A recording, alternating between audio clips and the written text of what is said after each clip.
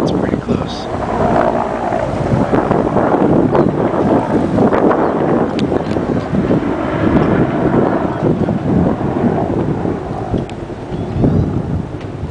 Wow.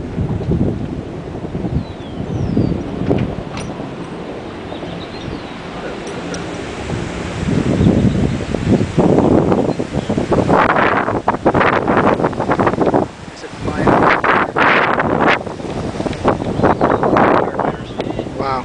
This Camarillo Springs thing call it.